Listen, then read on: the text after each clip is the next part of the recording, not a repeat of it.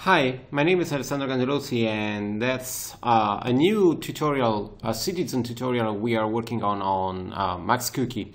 So I like to show you what we are doing so you will be able to decide if you like to see it or not on our website Becoming a Citizen. Uh, this time we are working on a trail, an animation trail tutorial and the trail effect is done using particle flow and Krakatoa.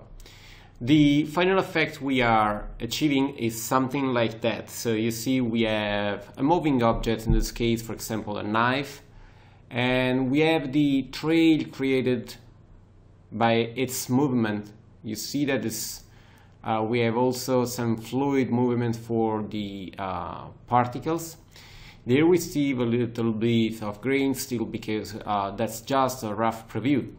Uh, decompositing is done in Fusion, but it's really, really simple because we are using not so much paths. The setup is done in 3ds Max, as you know, so we have just the animated object with the main uh, light sources, and then we have a particle flow uh, emitter that is working with uh, around 15 million uh, particles, but it's really, really simple. And then we'll work to create uh, to cache all the particles using uh, the uh, Krakatoa caching on the PRT file format. And then we'll use the PRT loader to load all the particles. So you see that there we have the PRT loader. We'll tweak a little bit inside the Krakatoa magma flow to decide how to control the particle density. And then we'll render both passes to be component side uh, Fusion.